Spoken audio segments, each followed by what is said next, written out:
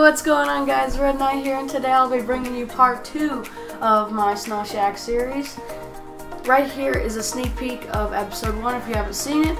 We turned a crappy trailer into something I can actually build on. So if you haven't seen that video, click in the top right right now. This is my friend David. He was going to help me build the frame and help me lift some wood, but we decided it was too hot. So I did it by myself the next day. I know I'm wearing retarded clothes, don't judge me. So you have to mark every 18 inches for a standard frame that you probably don't want to fall apart.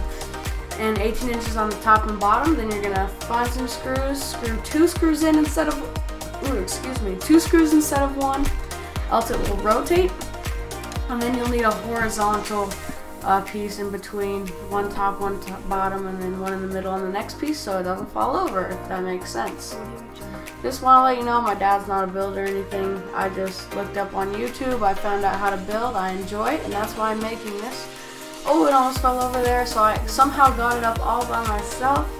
Lining it up, then I realized that how am I supposed to hold it and screw it in the same time?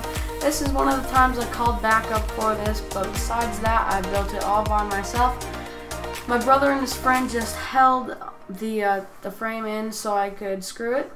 As soon as a few screws were in, they left, so I, and then I could do it the rest by myself.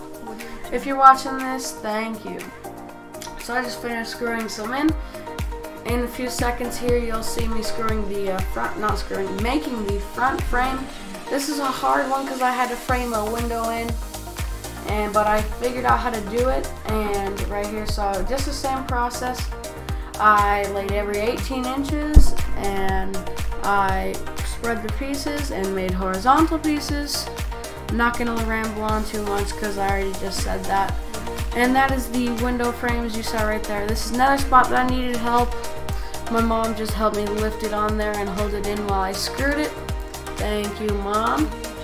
And it's looking really, really cool. Can't believe I made it this far all by myself.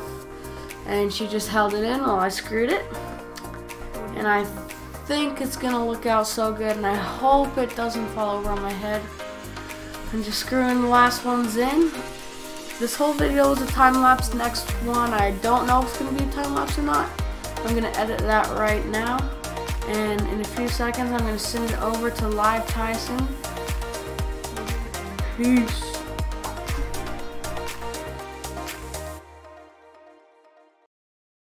Guys so much for watching this video. If you enjoyed it, give it a thumbs up.